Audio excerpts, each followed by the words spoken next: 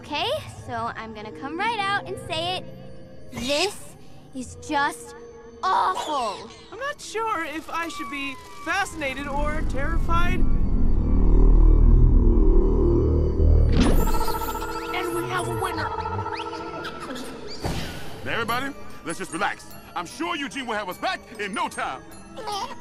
Ah!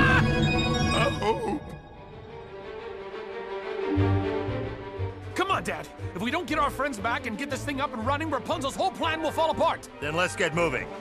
Although, they really are more his friends.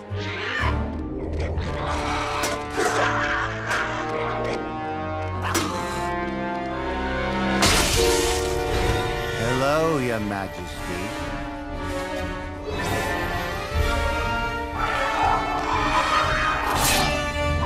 I'm sorry, what were you saying about my friends?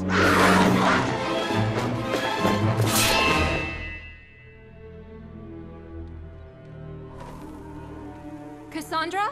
You know, Raps, it's funny. I look at you and I see a girl who was used for her gifts and lied to her entire life.